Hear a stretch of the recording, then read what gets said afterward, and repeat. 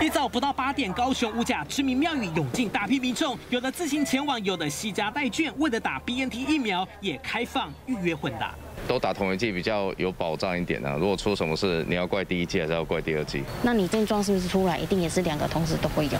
全台混打疫苗第一天，民众担心有副作用，大部分先观望。庙宇接种站预计施打上千剂 BNT，有随到随打预约 BNT 的七百多人，预约 AZ 混打 BNT 约一百多人，只占两成。不会，就感觉同一个厂牌比较安全，因为只要有国际认证就可以了。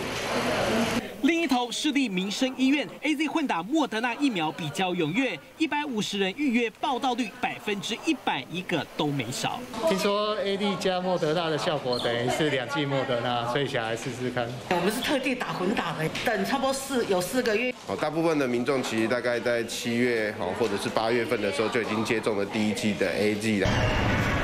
除了混打，为了鼓励六十五岁以上长辈打第一剂疫苗，之前送过白米和点心券，反应一般般。这回是在连锁大卖场的疫苗站，下重本给两百块钱提货券，超好康。但是只有二十人，名额超少，有点小气。无论如何，刺激长辈施打以及第二剂接种率，才能达到集体免疫，有效对抗病毒。是洪夫人王淑红高雄道。